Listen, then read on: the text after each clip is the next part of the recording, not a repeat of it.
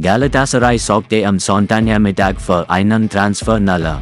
Einen Tag nachdem Cedric Bakambu in Istanbul eingetroffen ist, am einen Vertrag beim türkischen Meister zu unterschreiben, Gaza Football bestätigte, gaben die Istanbuler per Borsenmeldung den offiziellen Start der Transferverhandlungen MIT Offensive Star Wilfried Zaha bekannt, an dem auch Özravel Fenerbahce.